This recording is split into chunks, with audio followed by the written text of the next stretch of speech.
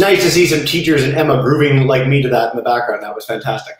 Good morning, everybody. My name is Jesse, and I am with Exploring by the Seat of Your Pants. I know we've got some new folks joining us today, and so welcome in from around the world. If you're joining us for the first time, we are all about bringing conservation, adventure, and science into classrooms around the world. Now, we've got two big things going on in May. One just wrapped up last weekend, and that was our Global Biodiversity Festival. You can check that out at globalbiofest.com. We are slowly but surely taking every one of the 150 presentations we did over 72 two straight hours of broadcasting, no sleep for the wicked, uh, up on our YouTube channel so you can see explorers and adventurers from around the world. It was a really, really special program, and I hope you guys get the chance to check it out.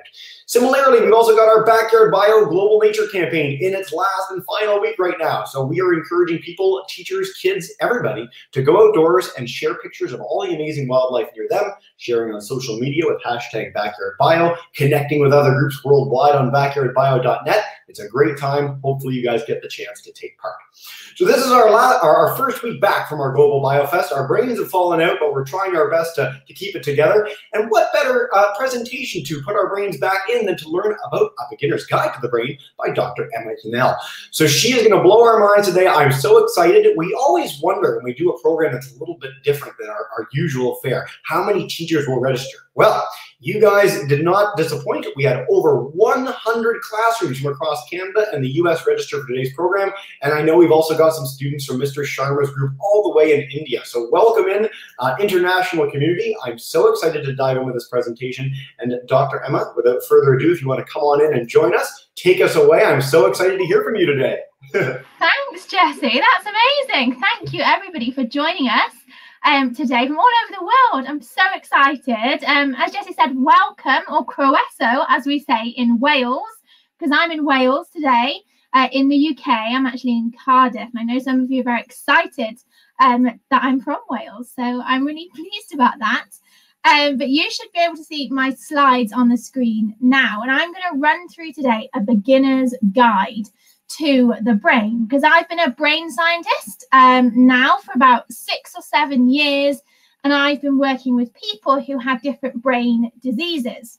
So let's kick off and talk a little bit about the brilliant brain because hopefully we all have uh, a brain and it sits right in the center of our skull. And for most adults, uh, maybe your parents or guardians or teachers, it probably weighs about three kilograms. So I don't know how you feel about that. I don't think that's very much, actually, when you consider all of the brilliant things that the brain does. Another fun fact about the brain is it contains over 100 billion brain cells in your brain right now. There's 100 billion of those cells. And as we maybe get a little bit older, the cells in our brain, we start to lose some, which is quite normal actually.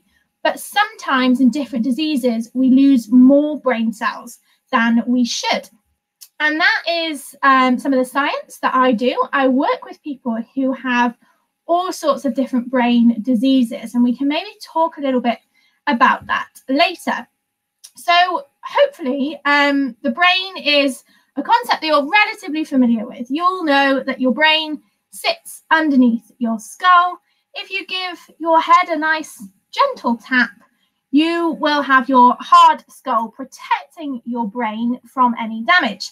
It's one of the reasons why you should absolutely wear a helmet if you ride a bicycle, because it protects your skull and also your brain. So that is the brain, but what does it actually do? When we think about it, what does your brain actually do? So the answer is loads of things. Maybe you can think of some of those things that the brain actually does. And we know that without our brain, we wouldn't be here. We wouldn't be alive and we wouldn't be able to survive. So, as a brain scientist, I love the brain. It's my favorite organ of the body because it does so much stuff and loads of different things as well. So, let's have a little look at this brain. So, on the screen, you can see the front of the brain in a nice juicy pink color here. And you can see the back of the brain in green. And then you've got this um, bit at the bottom of the brain called the cerebellum. So let's have a little look at what all of these regions do. So at the front, just behind your forehead, is the region of the brain called the frontal lobe. And it's this region that helps you with thinking. So when you're kind of thinking about a really complex problem, it's this area of the brain that you will be using. There's different parts of the brain that do different things. So just behind that, we've got a region of the brain that helps you with walking and moving. A region of the brain that helps with your um, senses. So touch, for example. So if you go to touch your table and um, you might have, I've got a desk in front of me right now. I know that it feels quite hard. And then interestingly, the area of the brain that helps you to see is right at the back lots of people think it's just behind the eyes, but it's not true. Actually, it's right at the back of your head. And then we've got this bit that I haven't um, indicated, this bit called the cerebellum that looks a little bit like a cauliflower, I think. That helps you to balance. We've got this area of the brain, the auditory cortex, sits just under your ears, uh, and that helps you to hear. And then for other regions of the brain, We've got parts that help you to smell uh, and sense your environment. And for those of you who may be a little bit chatty in lessons, we've got a region of the brain called Broca's area, and that helps you to speak. So when you're speaking, your brain is really important in allowing you to do that. So the brain's awesome. It allows you to do loads of amazing things. But sometimes our brains get poorly. And that's why I started this career in science to try and help people who are living with brain disease. So here we've got a picture of a real life human brain uh, where you can see the skull. Here you can see a bit of skin uh, covering the skull, but right in the middle you can see the big juicy brain. And the brain has got white matter that you can see here named because it looks quite white. It has something called myelin in the brain, and you've got grey matter as well. But when we think about brain disease and when the brain gets poorly, there might be a bad bit, for example, a tumour. We might have a problem with the brain, like a bleed on the brain, for example. We need to think about how we actually get access to the brain because your skull is protecting your brain. That's a really important function of your skull. It's really quite hard and it can be really quite difficult um, to get through to give us access to the brain to try and help. So let's think about how we might be able to crack the skull um, in terms of helping people who have a problem with their brain. Now, we can have a little think about this. We might start with some fairly drastic solutions. We could use a saw, it's a possibility. We could use a drill. Um, this is a, a, drill that I have at home for putting shells up, for example. Um, or more of a, a, bigger drill that we might see on roads to do um, road kind of resurfacing. But actually, you could use all of these things um, and they do use drills in brain surgery. So my colleagues who are medical, not sciencey, medical people, do do brain surgery. Um, but before we go into drilling through the skull, there's this amazing way that we can actually look inside the brain first. So you don't have to do anything to be able to get inside. Using this really cool scanning, we can look inside the brain.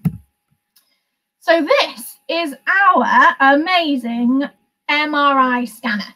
And MRI stands for magnetic resonance imaging. So that's what we mean. Um, in the UK, we have a, a mint that looks like this shape. We call it a polo. And this is a giant magnet. Um, MRI machines are super expensive. They cost millions of pounds. Um, so they're very, very precious and special and we can pop our patient on this bed here and put them into the scanner. Now, MRI scanners work because the scanner is a giant magnet. but not just any magnet, it's a super, super strong magnet. So I'm talking 10,000 times the strength of the magnets you might have on your fridge. Really, really super strong magnet.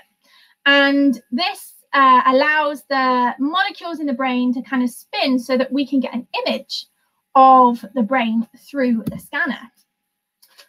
But I told you that this scanner is amazing because it has this really strong magnet. So before we put anyone near the scanner, there's a few things that we have to go through which are super important for their safety. So before anyone goes near the scanner, we need to make sure they don't have any jewelry on them um, because it's metal and metal gets attracted um, to the magnet. We need to make sure they don't have any cash on them or any coins because that will um, fly out of their pocket. Any other things that they might have on them that include metal, so glasses. Um, although they're not really metallic, the strip along a credit card that can get absolutely wiped by a magnet. We don't want that to happen. But there's other things as well. So some people have devices or joint replacements which contain metal. Even some tattoos, um, depending on where they were done, um, can contain a, a metallic pigment. Normally, for brain scanning, we only pop someone's head directly under the magnet. So it tends to be just um, tattoos on the face that can be problematic even in recent times, um, semi-permanent makeup. So some people choose to have makeup applied more permanently. That can contain metal pigments as well. So those are the things that people might have on them. There's also some other things we need to think about. So for example, there might be some chairs in the room next door to the scanner that contain metal legs. We don't want them accidentally going anywhere near and being dragged into the magnet. And finally, really important things like fire extinguishers. They are metal. So if they um, accidentally went near the scanner, there have been cases of people actually being killed by um, fire extinguishers that get sucked into the scanner.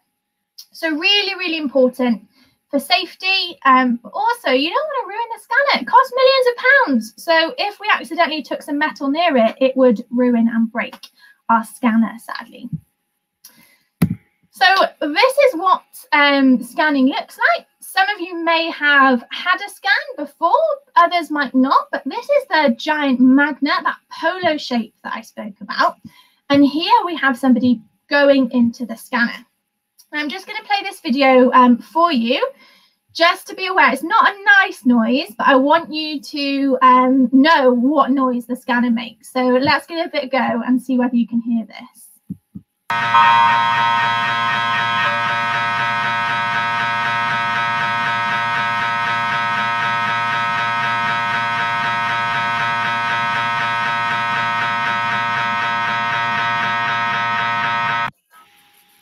Okay, so hopefully you heard that. I said it wasn't nice. Um, but that is the noise of the different magnets banging together. And for this reason, before we put people in the scanner, we offer them um, earplugs to make sure it doesn't affect their hearing. But also, you might be able to see that there's not a lot of space in the scanner. And this means if people are claustrophobic or maybe have um, some anxiety, it can be a problem um, to go in the scanner. So we always check with people about that as well to make sure um, that they don't kind of panic or become upset by the process. Oh, there we go again. Um, this is what we see from the results of a scan. So right in the middle here, we have what we call a structural scan. So this shows us what the structure of the brain looks like. So you have the front of the brain here and the back of the brain here. Um, you can see these kind of holes in the middle of the brain. These are called ventricles. They're very normal. Lots of people get worried, but they're absolutely fine and normal. We can do other sorts of scans. So this is a PET scan, so positron um, emission tomography scanning. This involves some chemicals that are injected into the body, but MRI scanning just involves magnets. So no chemicals or radiation or anything like that. And then on the right of the screen over here, you've got something called a functional MRI. And what this shows is you can see different areas of the brain that are lighting up when people in the scanner are doing different tasks. So sometimes people are put in the scanner and they're asked to do different activities. So that might be speaking in a different language or doing some number puzzles or even watching films or computer games. And different regions of the brain will light up. And that allows us as scientists to understand more about the wonderful brain.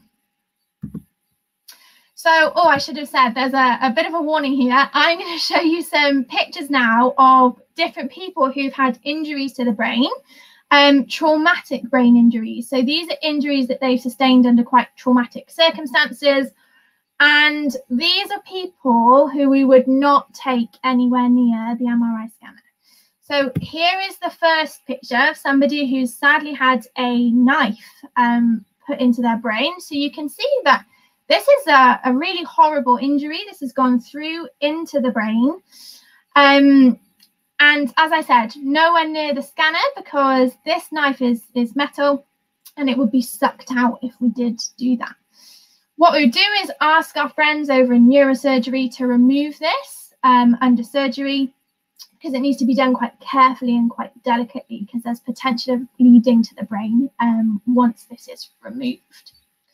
And then the next um, picture I've got for you is somebody who sadly sustained a very traumatic injury where they've had several nails go into their head. And again, nails are metallic, so we wouldn't put them in the scanner. We'd look to remove these in surgery. Um, but yeah, some really horrible injuries, but um, we know more about the brain than we ever have done. But there is still so much to learn about the brain. And even as a brain scientist, there's loads that we still don't know. So I'm doing lots of research still to try and help people. So that is all from me. Um, thank you, or diolch as we say in Wales. And I would love to hear all of your questions.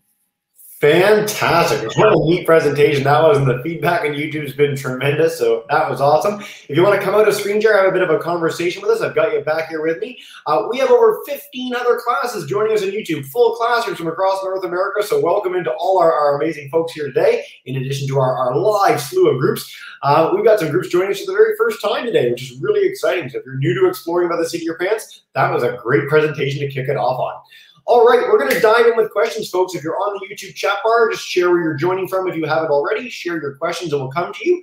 Uh, but I'm going to start with Mr. Hancock's class. Mr. Hancock has joined us for, I think, 9,000 broadcasts over the last five years uh, between astronauts and explorers, all sorts of things. But this is his first actually live in the session. So in Georgetown, Ontario, if you want to kick us off with a question, Mr. Hancock, come on in. Yeah, definitely. Thank you for having us, Jesse. Uh, long time listener, first time caller. Uh, we've had a few students in my uh, Google Meet who are curious about uh, a newborn's brain, the size, how it develops, like where does the brain kind of start off? Because we saw like with the, your pictures where it can grow in all the different areas. I know holding my two children for the first time, um, the soft spot on the top was quite terrifying, but I knew with the skull and how that all worked.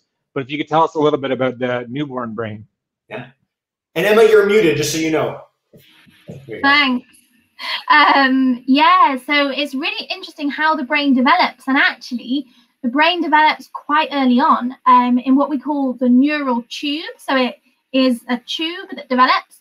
Sometimes um, babies or children can have problems in the development of the brain. They can have something called fluid on the brain. That can happen if that process doesn't happen um, properly. But as you said, the brain does develop over time.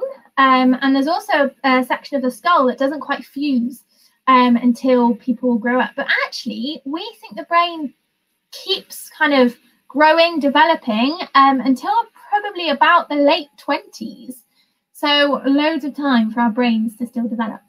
That is really comforting to hear as a 29 year old that there's still room to grow because I don't know, I've been having some trouble lately remembering things.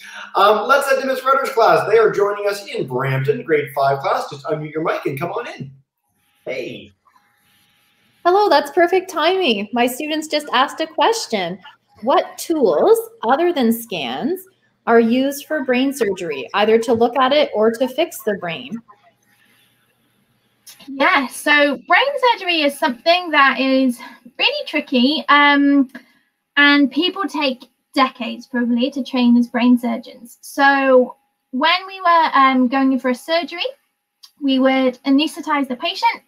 And then, depending on what needs to be done, so if, for example, a bit of brain needs to be removed, um, that can be removed or sucked out.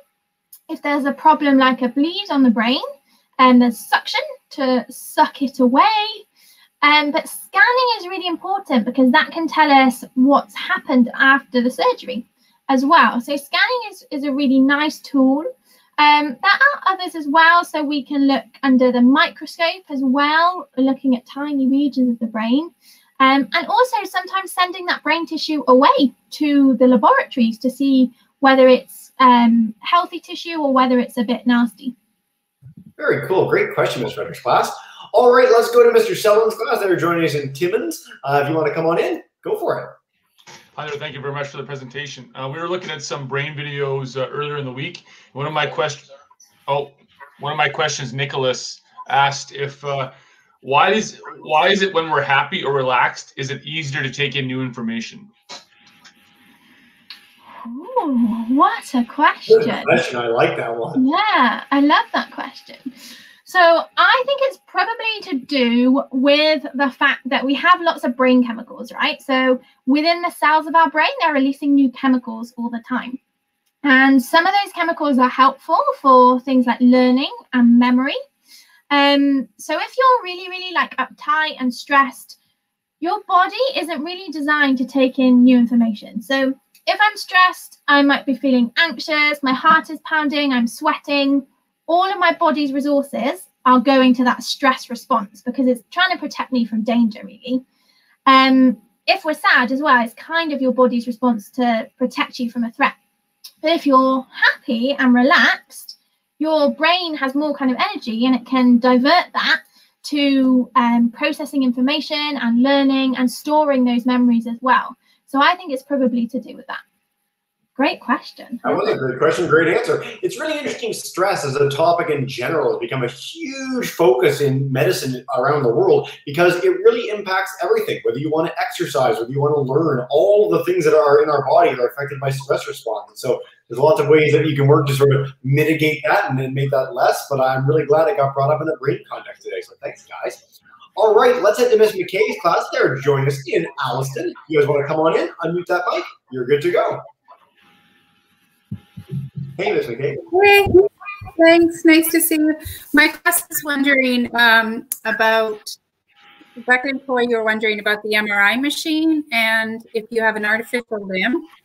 Becca was wondering, and um, Chloe was wondering how you got those photos if they couldn't go in the MRI machine. Can you ask that first question again? I didn't quite hear it. Yeah, it was about an artificial limb. If you have one, can you go in the MRI machines? They're just wondering oh. about things that would prevent you from getting in. Yeah, good question. Um, so yeah, normally we would ask people to remove it um, before they go into the scanner. And then those um, second images, they were um, X-ray images. So they don't require any sort of magnets at all. And they work in, in a bit of a different way. Yeah, good question. All right, I'm going to go to a quick YouTube one before we go to Miss Penfold and Miss Lodge in a second. I love this question from Miss Coffee's class. They want to know where is the place in your brain where you keep your memories? Oh, yes, great question. So, the place in your brain um, that helps you with memories is called the hippocampus. Um, this is a, a, word that's come kind of over time from history. Um, it translates as a, a seahorse. So, it looks a little bit maybe like a seahorse, right in the middle, in the center of your brain. Um, and it's your hippocampus that helps you. So that is a region of the brain in some brain diseases. So dementia, for example, where people's memory gets affected, is that region of the brain that um, they have some problems with. Cool question, guys. This has been awesome. There's more questions. There's already more questions in YouTube than we can possibly answer in one broadcast, which is a great problem to have. Uh, I'm going to take one more sort of a joint one from YouTube, and then we'll go to our live groups. So in Mr. Powell's class and Mr. Bernardi's class, they want to compare human brains to animal brains. How big are animal brains, and specifically, how do elephant brains differ from humans? Emma. Yeah, so it depends on the animal, right? So I'm thinking like um, the brain of a mouse or a cat or a dog is a little bit smaller. Um, but an elephant brain is, is bigger than a human brain. And it really depends on what the animal does. So, animals that have a really good sense of smell, so rodents, for example, to find food, um, they have really well developed what we call olfactory regions of the brain, the brain regions uh, involved in smell. Whereas other animals, so I'm thinking something like an owl, um, needs to see. So the regions of the brain involved in um, vision will be bigger. Um, and elephant brains are really interesting. So generally, the kind of bigger the animal, the, the bigger the brain. But it's these frontal regions, these bits behind our, our forehead that make us kind of quite unique as humans, give us our defining characteristics like our thinking, our language skills. So it's this region of the brain that's bigger, particularly in the human, that other animals um, lack. But we see over time the brain has evolved and, and developed. Awesome, guys. I'm so glad we got those questions. All right, I want to head to Miss Penfold's class in lovely Orangeville, Ontario. I love Orangeville. You guys have some great restaurants there. Uh, come on in. Come on in. Uh, my class wants to know uh, if you know the most common cause of brain injuries and also what part of the brain it affects most often. Mm, so brain injuries are interesting. So when we talk about traumatic brain injuries, these are injuries that are caused um, often from an accident. So things that might cause that um, typically are things like road traffic crashes, um, trauma, fighting, and because of when you you look at the brain, typically that affects this region right behind the forehead.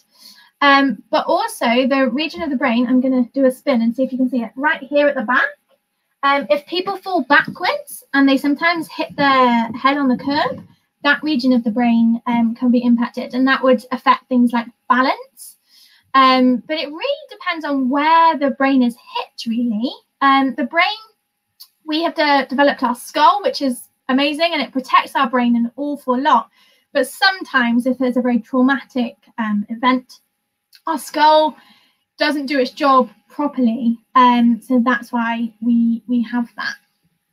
I've always loved. Uh, someone mentioned when I was a little kid the analogy of, of the idea that we have the bigger structures to protect our most important organs sort of in order. We have the skull, the hardest thing that we have to protect our brain. Then we've got our sort of enhanced rib cage here with the sternum for our lungs and our heart, which are really important. And the lower down you go, it's important, but it's not near as important as those things that are pretty essential for life, like our brain. So very cool, guys. All right, Miss Lodge, I don't know if your devices are on, but oh, you're good. So come on in, unmute that mic, and you're, you're good to go. Awesome. Um, so one of the students is wondering, does our brain grow? And if it does, will our skull grow? Yeah, so our brain does grow. Um, and yeah, absolutely, our skull grows as well to help it. So we said earlier that when babies are born, they actually have a little bit of a hole in their skull, which is perfectly normal. And over time, that closes up. So you, you don't have that anymore. And um, your skull fully forms again. But I don't know if anyone has any like photos from when they were born or when they were a, a child, but your head is probably a bit smaller um, than it is now. But over time, it gets bigger, and we think it grows until about your kind of late twenties, probably. Yeah, how neat is that? Um, guys, we're whipping through questions. Emily, you're like a champion answer. We need to have you on more often. Uh, we got enough time for a, whole other round with our live group, so I'm going to come back to Mr. Hancock, um, and we'll keep this train rolling. Come on in. Hey, thanks for having me back on. Uh, we have a few students who are kind of curious along that that um, that train of thought with brain injuries. And do brain injuries affect younger uh, children different than adults? And what's kind of the healing process like compared to with uh, younger versus older? Uh, yes, it's a great question. So when we look at the causes of traumatic brain injury, so typically things like road traffic crashes, um, violence, sometimes as a result of alcohol consumption, happen um, in the kind of adolescent period. So we know that the brain has this awesome thing called plasticity. And that means that the connections between the different brain cells can reform and change over time. And we think that as people get older, they lose that ability.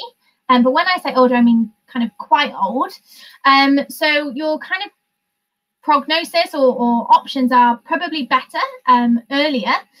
But the brain is amazing, and we know that people have lost um, sections of the brain, and actually the brain has kind of rewired and kind of gone past that, and is plastic enough to rewire.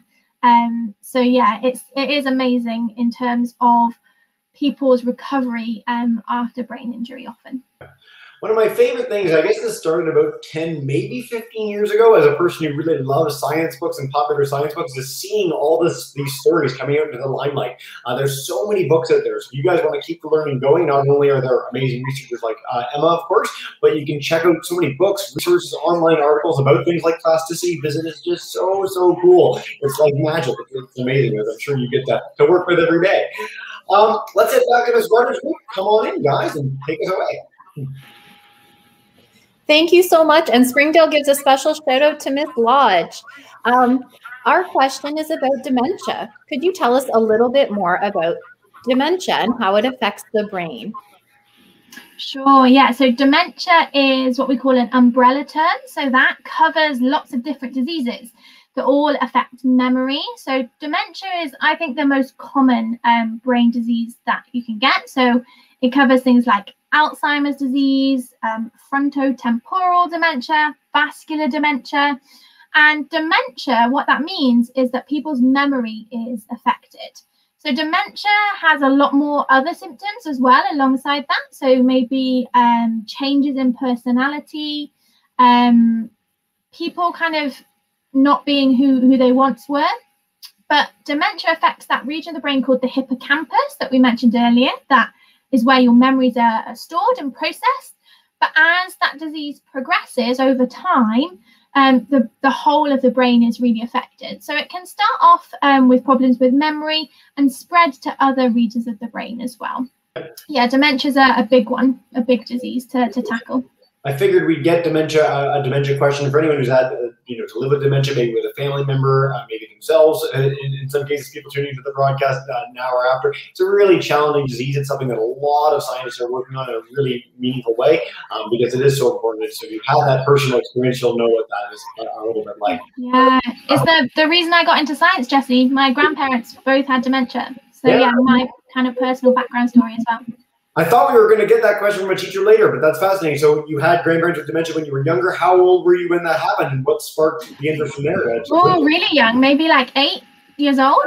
Um, so I was really conscious that when I was younger, um, I thought doctors could could treat everything. Um, dementia, unfortunately, doesn't have a cure at the moment. So we're working hard to try and change that. Um, but um, and make people kind of more comfortable with that condition. Um, but it isn't treatable at the moment. So I wanted to become a, brain scientist to try and help other people um, and their families as well. So Jesse mentioned, you know, that is um, difficult for the, the person who's suffering from that condition, but also for their wider family um, as well, particularly with the brain. So much of us is associated with our brain, isn't it? So when we have a problem with it, it's a very kind of personal um, condition and a personal disease. Yeah, I think it's it's worth noting. You know, for me with uh, dementia in my family, it was interesting trying to think of the fact that you know it's not something that you can necessarily help if you're dealing with it. It's like telling someone with no arms to grab something in a tire taller shelf to tell someone with dementia, oh, you know, try and remember that thing because they, they simply can't. So that's a, quite the, the story, and uh, amazing that it started when you were eight. A lot of our students are eight today, so I think that's will touch home for a lot of people. Speaking of brain injuries, I think this is a really important question on YouTube, and I want to share it. Uh, Mr. Powell wants to know could you possibly explain why it's important for a child to report hitting their head to an adult as quickly as possible and the signs of a concussion? Yeah, absolutely. So, with things like um, hitting your head, some of the symptoms of that um, can be masked for a little bit of time, and it's only after that the, the real problems hit home. So, if you hit your head, it's really important to tell somebody, and then they can seek kind of medical attention. So, um, in Wales, where I am today, um, we play lots of rugby. Um, I love to watch rugby, and there's been lots of work on head injuries in rugby um, and problems with that, and people reporting that and going off the field um, and not playing in the, the game anymore. So, really important because time is really important. So, the quicker you tell somebody, the more close they can monitor you. Um, and you may well be absolutely fine, but it's really important for somebody to keep checking in on you just to make sure that you are going to be absolutely fine and to keep a little eye on you. I think that's such an important question. So thank you for Mr. Powell. Here in Canada, of course, we've all seen this with hockey. Hockey is a very different sport than it was 10 years ago because of this understanding of concussions and how important they are. Um, and so I think that that's a really important message for all our kids and teachers to take home today. Um, Mr. Sullivan, if you want to come back in for another question, you are good to go. Uh, hi there. Uh, great information thus far. One of my students just asked me, um, do uh, folks with autism have different looking brains than uh, folks without autism? We have an autism program in our school, and we're just curious about that a little bit. Yeah, great question. So, autism is a really interesting condition in that um, I have colleagues who are doing lots of research into what causes it, and we we don't know really. Um, there's probably likely to be genetic and environmental factors. We know particularly in girls, um, autism might be underdiagnosed because girls tend to be better at mimicking their social groups. Um, but in terms of the brain, it's something we're still investigating. I don't think we're really sure um, yet. I don't think there's any really clear differences that you would pick up on something like a scan like that, but it's probably to do with the way the connections between the cells are forming um, rather than the, the brain overall. Uh, a book that I read that was particularly impactful on autism, the history of it, the understanding of it was called Neurotribe. So I just wanted to bring that into the broadcast if people want to check that out. Uh, a lot of our teachers may know too, Temple Grandin is probably the most well-known autistic person in the world for some of her amazing work with animals. So I'd encourage you to learn a little bit more about her too if you're, if you're keen on this as a topic. All right, Miss McCabe, come on back in. We are having the best time. This is so much fun. so much fun. Um, my students were wondering, is there a particular part of the brain that's easier to injure? Um, they're wondering, you know, and and we've been talking about how our brain changes and we can do hard things. So if you could talk about that. Yeah. So in terms of which pieces of the brain or bits of the brain are, are more easy to injure, um, so really your your forehead is kind of you know a bit of a target really. Um, if you feel kind of on the back of your head, right, right down at the bottom of your skull, um, down there as well. So particularly if you fall backwards. Um, but it's really interesting you should mention um, doing things that are hard. So, you know, when you you kind of think, oh, you know, I don't want to do that. It's too difficult. You know, I'm going to give up. But actually, we know the more you challenge yourself and the more you try, the easier it becomes. So some of my work is around um, brain training and challenging the brain and doing the same thing over and over again. And we know that eventually it will become easier. So those connections within the brain will fire and they will um, allow the brain to, to do the hard task. And those connections get stronger and stronger and stronger um, until you get better at it. So really important if you have got, you know, a, a task that you think, you know, this is really difficult and this is challenging, keep going. Determination is key. Um, and also the sense of achievement that you'll get once you complete it, right? That's that's really good for the brain too. You mentioned training the brain. Uh, one of our only other brain programs we've ever had on this broadcast was Dr. Tobias Hauser a few months back, and he talked about his Brain Explorer app. So check out Tobias Hauser on our YouTube channel if you want to see that. I think it's a really nice follow up to this, and has some games and activities that you guys can do with your smartphone from home to help train your brain, and some really fun activities. So take, uh, take a look and check it out. Um, we're going to take like three more questions here. Time flies when you're having fun. I told you this would fly by, huh? Um, so Miss Penfold's group, you want to come in? I'll take one from YouTube and wrap up with Miss Lodge to end the broadcast. Miss Penfold, morning. Penfold, morning. Thank you. Um, my students would like to know more about the holes that you mentioned in our brains early on. Like, do they have a purpose? Are they different depending on the person? Stuff like that. Yeah, so the ventricles in our brain, um, they have this really special fluid inside them. So it's a bit like um, water. It's called cerebral spinal um, fluid, and it bathes the brain, gives the brain all the, the nutrients it needs. And you have that in your um, spinal kind of column as well. So the function of um, those ventricles is to produce that fluid so that the brain is bathed in it and gets all of the things that it needs.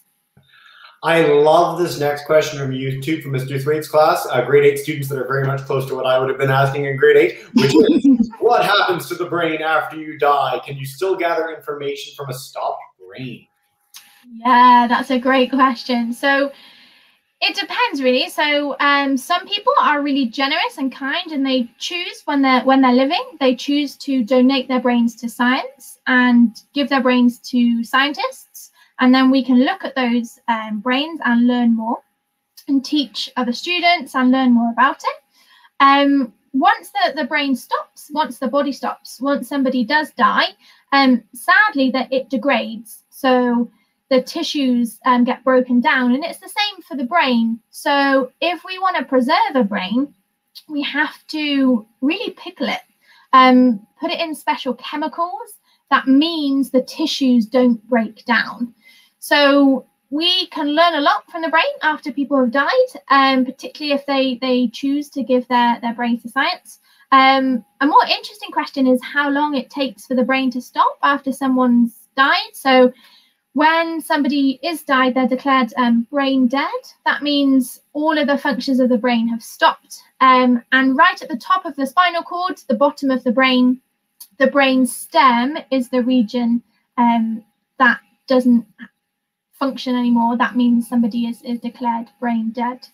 Um, so yeah, really still loads to learn, um, even though someone may have died. Yeah, there was really, I mean, it's sort of macabre, but really interesting research research done in the early days when you know there were more executions when they would try and assess if someone could still think or do stuff uh, after they died, which is really really neat. Sort of a, a interesting follow up to the knife and nail bit at the end, which really did uh, impact a lot of children. So thank you for that. I mean, that was a very cool picture to, to wrap up the broadcast. Um, I want to head to Miss Lodge for one final question, uh, and then we'll, we'll wrap it up from there. So come on in, Miss Lodge. Hello, thank you so much. We want to shout out back to Mrs. Rutter's class. So that's from my grade fives. Um, and we just had a question about when we sleep and dream, how is the brain connected to all of that? Yeah, so sleep is a really interesting area of research that lots of my colleagues are still exploring. So we know that we need sleep. We know that without it, um, we become poorly. We know if we didn't get any sleep at all, we would die. So it is really important. I'm sure we've all experienced maybe we've had like a poor night's sleep or haven't been able to get to sleep and we feel quite groggy the next day. And maybe you can't pay attention as much and concentrate. Um, the, the functional purpose of sleep is really interesting. So, particularly as children, um, you grow a lot in your sleep. So, that's really important. But what the brain does in sleep is something that we still aren't really sure about. So, we know that the brain is still functioning it's probably functioning to a lower degree than it is while while you're awake. Um, but what it actually does, we still don't know. So some scientists think that your memories are kind of processed and almost kind of stored in filing cabinets while you sleep theoretical filing cabinets in your brain. Um, others kind of think that that's um, the time where kind of energy is is needed. So your brain is still active when you're sleeping. Um, lots of people ask me about the function of dreams. What what's the purpose of a dream? Um, and that's something we're still exploring as well. So in Cardiff, where I work, we actually invite people into the university for a sleepover and we can study their brain. We can put electrodes on their brain um, while they're sleeping to monitor what's actually happening in there. Isn't that fantastic? I would absolutely love to be part of a study like that. And I love that this thing that is a third of our lives, eight hours of our 24 hour day is spent sleeping, and we still don't truly understand it. I think that the most amazing thing about science in general is that there's so much to learn, there's so many new mysteries to explore. And so for our kids today, whether you're keen to just follow up with what's going on in the world or become a scientist yourselves, uh, the exploration is just beginning. Emma, this has been so, so much fun. Thank you so much for sharing your, your time and enthusiasm with us today. Is there a place that our kids could go to learn more? Again, we've got more questions than we can possibly answer them on broadcast. Where do we send folks to keep learning going now that they're done? Oh, there's so much to learn, isn't there? So um, I'm in the UK, so there's lots of really interesting resources online. I'm sure you guys have kind of ones that your teachers can recommend. Um, but generally, just keep looking. You know, if you're interested in something, just pop it into a search, and you know, check out some videos, check out some, you know, documents. Um, have a think about, you know, there you can get these freely available online. I can send a link maybe to pass around to you. Brain hats, where you can download a, a brain hat and make it um, for yourself. So maybe we can get that information out, hopefully. Um, so yeah, loads, loads to learn. As Jesse said, there's still loads that we don't know. So you could keep researching this um, forever. So if you do find it interesting, just um, keep researching it. You send me absolutely anything, and I will make sure all our teachers that are registered get that. So please do that; would be great. And what we do to end every broadcast, I know we've got some new, uh, you know, you're new to this today. We've got some new teachers joining us today. What we do to end every broadcast, everybody, is I'm going to bring in all our teachers to say a big thank you and farewell alongside me. So Miss Rudder, Mr. Sullivan, Miss McKay, Miss McKay, Miss McKay, Miss McKay,